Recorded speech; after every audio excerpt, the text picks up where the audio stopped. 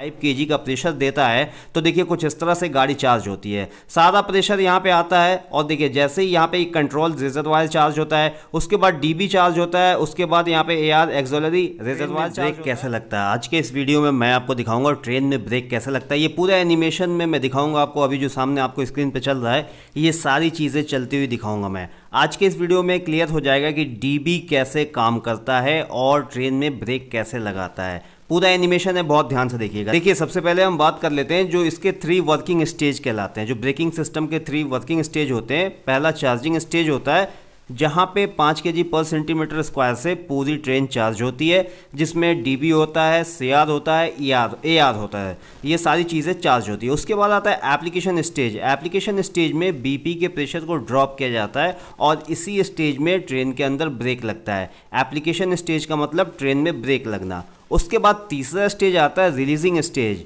इस स्टेज में brake release होता है। बीपी के प्रेशर को दोबारा जब पाँच के जी पर सेंटीमीटर स्क्वायर तक लेके आता है ड्राइवर तो यहाँ पे रिलीजिंग स्टेज कंप्लीट होता है और ट्रेन का ब्रेक रिलीज़ होता है। अब चलिए मैं आपको एनिमेशन के थ्रू दिखाता हूँ कि यहाँ पे डीबी कैसे काम करता है और एयर प्रेशर का जो फ्लो है वो कैसे होता है ब्रेक कैसे लगता है। यहाँ पे आप देखेंगे तो ये जो है एक डायग्राम है लाइन डायग्राम है, जो कि यहाँ पे हमारे आईसीएफ और एलएचबी कोच में लगभग सेम इसी तरह से होता है। ये ट्विन पाइप है, यहाँ पे एफ़ और बी अगर आप एफपी को निकाल देंगे तो ये सिंगल पाइप हो जाएगा और अगर आप इसमें एफ़ जोड़ देंगे तो ये ट्विन पाइप हो जाएगा। अब देखिए देखिए, आज का जो ये वीडियो है, ये सिर्फ़ आपको ये दिखाने और बताने के लिए है कि डीबी कैसे काम करता है एयर फ्लो को कैसे पहुंचाता है ब्रेक सिलेंडर तक और कैसे ब्रेक लगता है, ठीक है? बाकी किसी और दिन के वीडियो में हम पूरे डिटेल में बात करेंगे कि इसमें कौन कौन से पार्ट होते हैं। तो यहाँ पे जैसे ही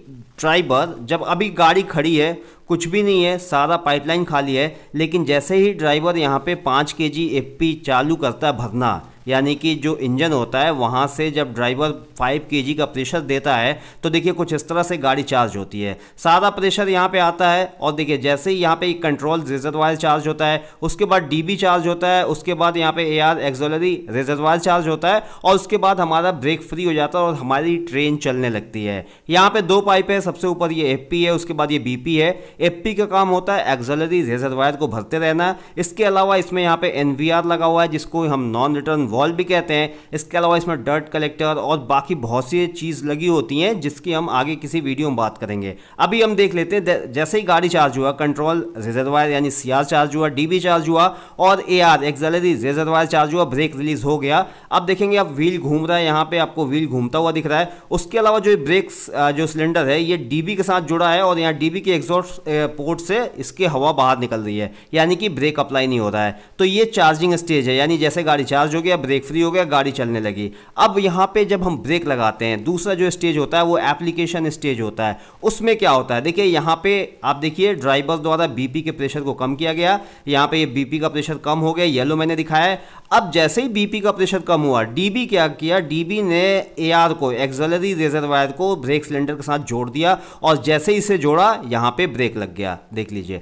जैसे ही एआर के साथ जुड़ा ब्रेक सिलेंडर यहाँ पे हमारी गाड़ी रुक गई। और अब ध्यान से देखिएगा तो जो ये एग्जॉस्ट पोर्ट है, इसका कनेक्शन कट गया है ब्रेक सिलेंडर से। और ब्रेक सिलेंडर किससे जुड़ गया है? एआर से एक्सलरी रिजर्वायर से जुड़ गया है। और एआर में जो हवा स्टोर थी, वो अब यहाँ पे ब्रेक सिलेंडर में आई। और ब्रेक सिलेंडर में आने के बाद पिस्टन बाहर निकला। और यहाँ पे व्हील में ब्रेक लग गया। किसी भी स्टेज में यहाँ पे सी यानी कंट्रोल रिजर्वायर का प्रेशर कम नहीं होता है। देखिए ये जब तक आप डीबी को मैनुअली यहाँ पे रिलीज़ नहीं करेंगे, तब तक इसका प्रेशर कम ज़्यादा नहीं होगा। ये चार्ज हो चुका है एक बार, उसके बाद इसके प्रेशर में कोई फ़र्क नहीं पड़ता है। और इसी के प्रेशर को देख के डीबी ये अंदाज़ा लगाता है कि बीपी का प्रेशर कम है या ज़्यादा है।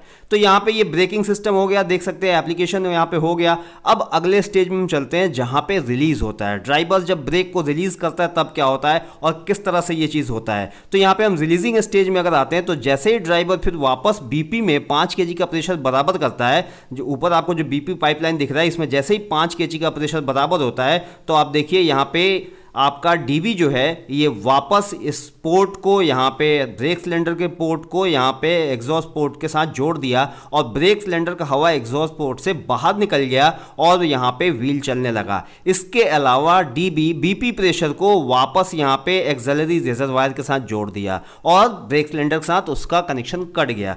तो इस तरह से ब्रेक रिलीज़ होता है। बहुत ही आसान, बहुत ही सिंपल अब मुझे उम्मीद है कि अगर आपने अब तक ये नहीं समझा था कि ब्रेक सिलेंडर कैसे काम करता है या फिर एयर फ्लो कैसे होता है ब्रेकिंग सिस्टम में तो आप इस वीडियो को देख के समझ गए होंगे। ये एनिमेशन कैसा लगा, ये वीडियो कैसा लगा, कमेंट करके ज़रूर बताइएगा। और अगर आपको पसंद आया तो चैनल को सब्सक्राइब करके बेल आइकन बटन दबा दीजिएगा, ताकि ऐसे नए नए वीडियोज़ आपको मिल सके। और अगर आपके दिमाग में इससे रिलेटेड कोई सवाल है तो आप कमेंट करके पूछ सकते हैं। इसके अलावा जो भी चीज़ें मैंने यहाँ पे दिखाई हैं, इसके अलावा ब्रेकिंग सिस्टम में और बहुत सारे पार्ट पुर्जे होते हैं, जैसे यहाँ पे डर्ट कलेक्टर होता है, थ्री वे डर्ट कलेक्टर दो दो लगे होते हैं। एक एफ़ पाइप में लगा होता है, एक बीपी पाइप में लगा होता है। यहाँ पे आइसोलेटिंग कॉक एंगल कॉक सारी चीज़ें लगी होती हैं। यहाँ पे एक्सलरी रिजर्वायर को आइसोलेट करने के लिए लगा होता है। बहुत सी चीज़ें होती हैं, हम किसी और वीडियो में डिटेल में बात करेंगे। आज के इस वीडियो में बस बताने का मकसद ये था कि आप ये समझ जाएँ कि डीबी कैसे काम करता है। डीबी के अंदर एयर फ्लो कैसे होता है। लगभग जो मैंने अभी डायग्राम आपको दिखाया है, लगभग इसी थ्योरी के ऊपर डीबी काम करता है और लगभग इसी के तरफ़ ब्रेक यहाँ पे हमारे ट्रेनों के अंदर लगता है। तो आज की जानकारी कैसी लगी? कमेंट करके ज़रूर बताइएगा। वीडियो को लाइक करना बिल्कुल मत भूलिएगा। वीडियो देखने के लिए धन्यवाद।